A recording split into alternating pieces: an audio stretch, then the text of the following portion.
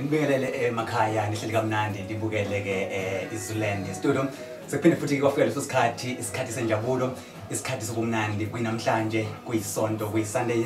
Igama lami ngunkonzo ngokwadlamini lapho khona ke ubukele khona ke uhlelo lakho olumnandi olubizwa kuthiwa ke is uh, the sunday morning devotion ngibonge nje kakhulu lapho ke ngibukelisekhaya ukuthi ke ngaso lesi sikhathi eh kudala ulindile usho ngempela ukuthi ke ngabe ke isonto liyofika nini ke lana ke nje malihlangana nje ke eh ihora lesikhombisa ungu7 o'clock but nje ke ihora lomkhodi ngithemba ukuthi ke lapho usekhaya ngeke uzoyisole ukuthi nje ke uzohlala nje kamnandi ulibuke uhlelo lwakho. Ngithemba ukuthi ke eh uthoba ke nje ke neviki elihle liqala ke iviki. Yonke nje into yakho nje ke ihamba kahle. Siyazi ukuthi ke isikhathi sikusona njengamanje isikhathi esinzima ngendlela esimangaliso kuhlasela corona sike sabona ke eh nesimo nje ke seweather bisingasehleke nje ke ey'nsukwini. Kodwa nje ke siyambonga nje kakhulu uNkulunkulu ukuthi nje kuze kufike lesikhathi namhlanje eh usasigcinile. Konke lokho kuwumusa nothando lwakhe. Hayi ngoba sihlakaniphile noma mhlawumbe ke singcono kodwa nje ke usenzele umusa. Okubalekile ngizomqoka ukuthi ke ngasonke isikhathi mbukela busekhaya ke eh sihlezi nje ke simbonga siliphakamisa udumo lwakhe njengenkosi nomsindisi. Eh mbukeli ke eh ngiyazi ukuthi ke njengamanje eh usayilungiselela eh ubheka enkonzweni. Kodwa ngaphambi ukuthi ke eh uye enkonzweni eh sizule studio eh kubalekile ukuthi ke eh makuqala nje usuku eh kuyisonto ukuthi uqale ke nje ukuthole ke izwi eh uvuseleleke emoyeni uthi uqambe nje ngempela ke usiye enkonzweni lapho khona ke sewuthe nje ke eh wakheka eh wathola ukuphila eh ngaphakathi. Eh siyatholakala ke nakuzo zonke ke nje inkundla zokuxhumana eh uyasithola nje ke eh ku YouTube eh Facebook Instagram naku-Twitter uthi nje ke Zoland Studio TV uthola nje kamnandi ke phela ngempela ke iziphe ke izinto ke ezenzakalayo eh nje ke inenhlelo nje ke ezihlukahlukene sibonga nje kakhulu ke nabo bonke nje ke oza kwethu eh abahle nje bekunikeza ke inhlelo ezimnandi nezihlabahlosile bakithi eh ngabe lokho nje ngilanda eh ngiyale nale kodwa nje kusomqoka nokubalekela njengamanje. Wena tshela umndeni wakho abangani bakho ubamema nje bonke ebahlale kamnandi babukele nje ke uhlelo eh the Sunday morning devotion namhlanje emukela besekhaya eh sinenhlanhla eh edlela ngendlela nje esimangaliso eh si Sun 11 sizula studio eh there's uhlelo Sunday morning devotion ukuthi ke sinaye eh umphostoli eh umfundisi eh uyasakaza eh unamakhono nje amaningi ahlukahlukene kodwa ke namhlanje eh uzosipha nje ke ukudla eh komphefumulo ukuthi ngempela ke uthi uqame nje usuyahamba uyodumisa kodwa nje wena ke ube usulaphekile emoyeni mpostoli Ah, Dlamini omkhulu ngibingelele kuwena, beka ababukeli emakhaya eh kwiZulu Studio TV. Ey, kwaze kwayintokozo ukuthi namhlanje sibe nawo lana ohlelweni. Kuyintokozo kakhulu. Ngiyazi ukuthi bekaningi umuntu ezama kufisa ukuthi kwenzeke ngenxa yokuthi isikhathi asisihlelele izinto. uNkulunkulu kuphela osihlelela lapha siyabonga uNkulunkulu ukuthi ube nje lizigcina lishayile siphinde sibonane kuseni namhlanje kuyisonto. Yebo. Eh baba umpostoli eh ngaphambi kokuba nje sizongena ke lapho sisinikeza khona ukudla komphefumulo eh ababukela lapha emakhaya ngempela eh balindele ngempela ukuthi cha sifuna ukubuza ukuthi ngempela ke umyalezo inkosi ethe yakunikeza wona namhlanje ngakuthini eh sibheke kuDisember eh si sikumhlaba jikelele eh siyizwe jikelele. Eh kuke kwavela ukuthi iCovid-19 isiphinde futhi ngathi iyabuyihlasela ngamandla. Eh siyabona nezimo ngendlela okwenzeka ngayo emphakathini yethu kwenzeka izinto eziningi ezahlukahlukene. Mhlawumbe ungathini ungidlisa imyalezo eh mhlawumbe ukuthi liqabuqabu eh mhlawumbe noma mabili ukuthi ngempela ke ungakuphawula nje ngezimo esibona zenzeka njengamanje? Sikhuluma iqiniso dlamini covid-19 ukufika kwayo. Phazamisile kakhulu. Baningi abantu abalahlekelwe imiphefumulo yabo kunabantu abalahlekelwe imindeni yabo kunabantu abasenhlungwini sikhuluma. Sikhulume sisho ukuthi covid-19 into serious and asikhuluma iqiniso sithi namanje sisephakathi kwaso isimo esinjalo. Njengoba kulo kukhulunywa kuthiwa kungenzeka ngeke singene esigabeni sesibili eh sokuhlaselwa lesi sifo. Into esingayikhuluma nje umbukele ekhaya ukuthi konke lokho esiyalelwa kukho ukuba sikwenze asikwenze ngoba impilo ibalekile egcineni kuba befike silungu prevention is better than cure. Ukuvikela kungcono kunokwelapha. Umuntu mayifisa ukuphila kulesikhathi lento ongafuna ukulalela yokufisa ukwenza izinto ngendlela obona ngayo wena kodwa ngoba lento ayikuthinti wena. Kungenzeka mhlawumbe ingaku-affect wena kodwa iba affect abantu abaseduze kwakho. So ziphathe kahle wenze indlela efanelekile ngenxa abantu abaseduze kwakho nabantu abathandayo.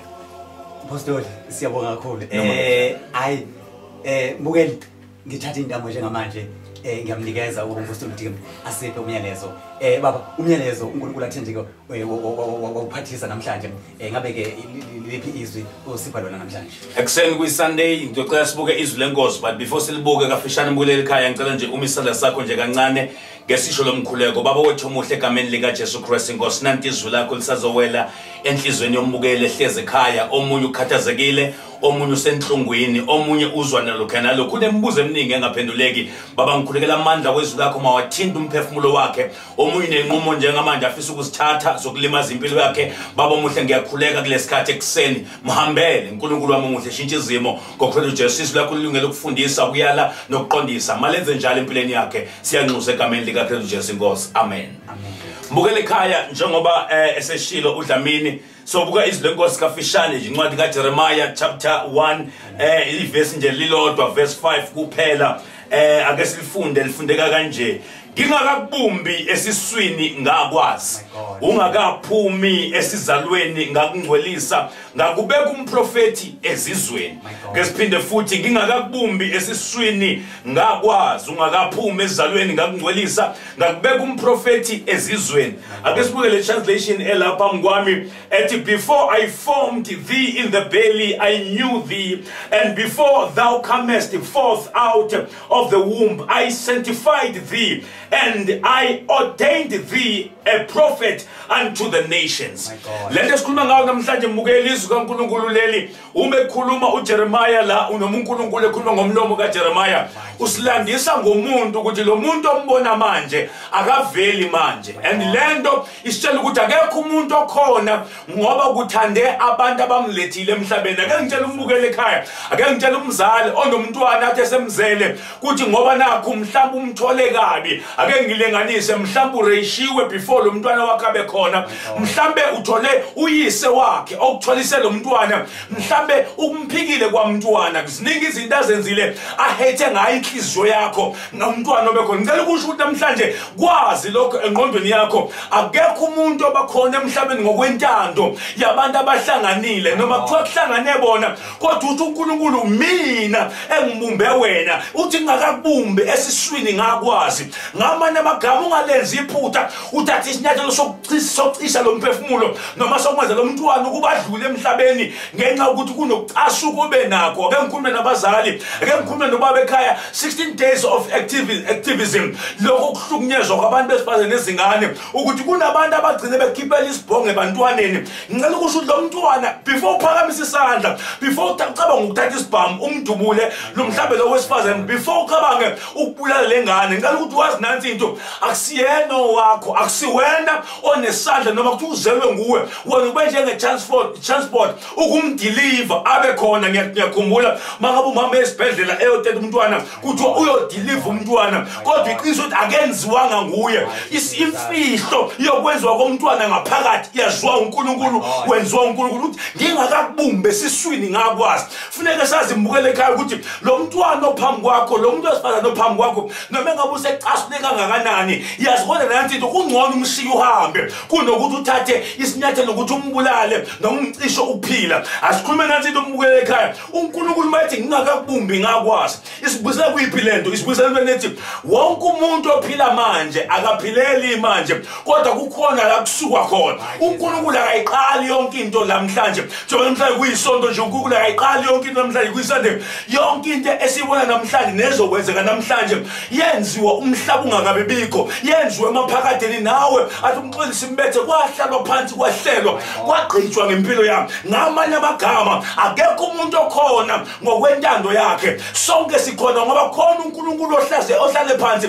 Wabuka ukuthi nosibandana ufanelekile ukuthi angabe khona. Kodwa ngithi mina noma engabe izinto zakhe azihambi kahle manje kodwa yazi ukuthi unkulunkulu bengekakulethe emhlabeni kuba uzohlupheka mathi ngingakakubumbi ngakwazi isitori sakho uyasazi. Ukuthi okwamanje umsebenzi akabi nawe uyasazi isitori sakho. Okwamanje ukuthi ukuthi abazali wena awubazi kwamama okuzala umazi wa-adoptwa mhlawumbe watholakala ulahliwe. Musunaka ukuthi wawulahliwe wena uyaziwa. Waziwa ulahliwe kuleyo nhlungu kuyona waziwa kuleyo pheni oyizwayo unkulunkulu uyasazi isitolo sakho mukeleka ngifuna ukuthi wena ungalenzi iphutha uthathe iy'nyathelo zokuthi uqede impilo yakho ukuthi kunabantu abahlukumeza umphefumulo wakho. Wena phola yazini yodwa khona ongaziyo nkosi yami. Kuthi angimtsheli dlamini ekhaya umbukele ekhaya ukuthi unkulunkulu uyamazi uthi ngingakakubumbi ngakwazi. Kuthi angiyikhulume nento ethi nabathakathi abathakatha manje sebelate ngoba indaba yakhe ayiqali manje. Lo mthakathi ufika izolo wena uthi unkulunkulu ngingakakubumbi ngakwazi. Ukuthi ungakafi ungakaphumi ungakaphuki ungafiki la uphuma khona ezani uzalwa uthi ngakungcolisa ngakubeka umprofethi. Kuthi angithi mina awuyifune awufuni ukuthi ubani kunkulunkulu. Sebeshuthi sebeshila abantu sebekhulumile abantu. Bawabeka amagama ngawe bakusho. Bathi ngisehluleke bakusho. Babeka amagama amaningi kodwa ngifuna ukuthi khona othi ngiyakwazi ngiyakwazi. Kulokho sekukhulunywe ngawe athi ngiyakwazi. Kulokho usukwenzile namaphutha akho imbala athi ngiyakwazi. Kulawo maphutha owenzile musuke uzijaja ungasithathi usibeke ngokwamaphutha owenzile. Amaphutha uwenzile kodwa wena usilona iphutha ngoba uyaziwa unkulunkulu. Asikhuluma into ethi mina noma ngabe yini engazivumbuka manje ufuna ukuqeda ngawe. Uzwa abantu behlangana ngegama lakho befuna ukubulala befuna ukudestroya bekuhleba bekhuluma sebelate uthi unkulunkulu ngingakakubumbi ngakwazi kuthi akithi mlele mbukele ekhaya. Yonke isimo esikuso manje sahlelwa singakafiki. Ngoba unkulunkulu uqala qede before aqale. Yonke into esibona iseqalweni yaqedwa. Kuthi angithi gqitshiwe uthi ibhayibhile ithi ibhayibhile lami even ney'nsuku zethu esiyiphile emhlabeni wayiloba phansi wayinquma kungakafiki nolodwa lwazo. Unkulunkulu uyinqumile iy'nsuku zakhe isitolo sakho siyaziwa. Ngifuna ukuthi namhlanje usuzophuma uya enkonzweni mhlaba uyile ngisho enkonzweni mhlaba umisele nokusho ukuya umoshwe khona enkonzweni uhleshwe enkonzweni. Mhlambe i- uphoxwe indaba yokuthi uthandazile wabona izinto zingenzeki. Ngizothi namhlanje akusukume nje kube kanye. Uye phakathi kwalabazalwane abakuhlebile ufike ubabingelele ngesimali. Ibhayibheli lithi ungaphindisi okubi ngokubi lithi nqoba okubi ngokuhle. Ngamanye amagama uqhamuke ngehakho bahage bona laba abakuhlebile bona laba abakhulume kabi. Awuye kubona uye ngesibindi uye kubona uthi ngiyanithanda ngiyanimukela noma ngakuthiwa nitheni kimi ngoba ukhona ongaziyo. Sengiyathandaza kuwena mukele ekhaya. Ngifuna ukuthi wena ngazi ukuthi yini ekhathazayo ngifuna ukuthi wena ngazi ukuthi yini le.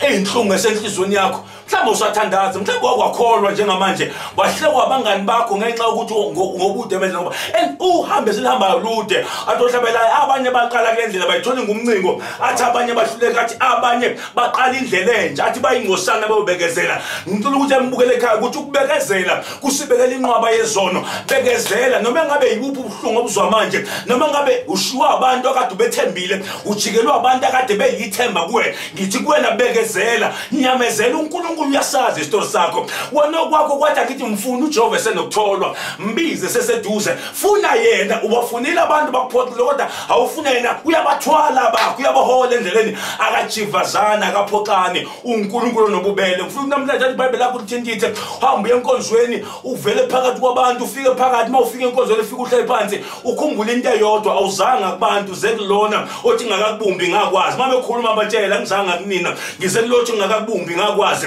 Noma kuthiwa bethi mthakathi bayeke. Awuzanga kubona uze kulothi ngakakubumbi ngakwazi. Noma sebekhuluma izinto ey'ningi empilweni yakho bethi vele usahluleki bethi isihlupheki yazi into eyodwa awuzanga kubona uze kulothi ngakakubumbi ngakwazi. Sengithandaza. Funa ukukhuleka nawe ekhaya ngicela uphakamisana sakho la ukhona mothi nkosi. Namhlanje ngiyawezwa amandla empilweni yami ngiyacela ungibuyisele. Endaweni yami ngiyafisa ukuphinde ngibe lo muntu engaye ngaba uyena. Ethi zonkosi phenduka lapho uyekhona uphenduka ukwenza imisebenzi yaqala. Unkulunkulu wethu ukhona ukukuhlangabeza ke ngikhuleke nawe ekhaya phakamisana sakho kanjalo babotshwa muhle. Gameni likajesu kristu wasenazareth nangombukele ekhaya wehlinye embeze emehlweni ngenxa yenhlungu adlula kuyona ngenxa yesimo asecabanga ukuthi vele udeliwe. Namhlanje uyezwa ukuthi wena uyamazi uyamazi. Umazi engakabunjwa umazi engakafiki la azalwa khona umazi engakafiki kulo mndeni akhona phakathi kwawo osumphoxele baba omuhle ngiyakhuleka. Kulesi khathi ihlangabezane nesidingo sakhe. Zwana nobuthakathaka bakhe unkulunkulu omuhle. Msukumise ngenyawo zakhe zombili ahambe aqhubeke abuyele akukhonze azi ukuthi weza kuwe kazange kubantu abamjivazile uthi umene sibongo nokuphakama makube kuwe. In jesus mighty name the son of the living god. Amen. Amen. Aw, awungustoli. Amen. Ethi ngema. Amen. Siyabonga kakhulu ngeke Nkosi umyalezo omuhle kangaka osiphe wona. Amen. Eh unamandla kulesi mangaliso. Oh, yes, oh, yes. Ababukela emakhaya eh ngiyathemba ukuthi bathe bathokoza bajabula.